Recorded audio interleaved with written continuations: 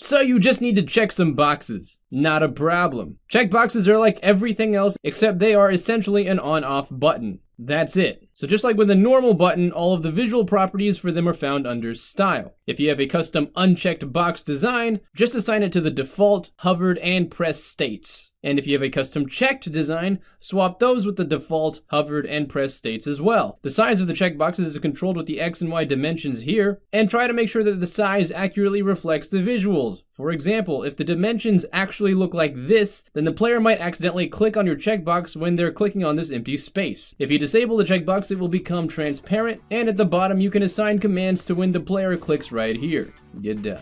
Hope that helps, and as always, hope you have a fantastic day, and I'll see you around.